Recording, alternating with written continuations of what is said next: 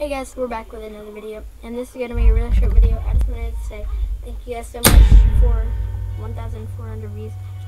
Um, now get me the 30 subs, please, and I will be posting a lot more content and not uh, post that much content of Twitch until I'm like 12, 13, just so I don't get banned again. But have a good day. Bye, guys.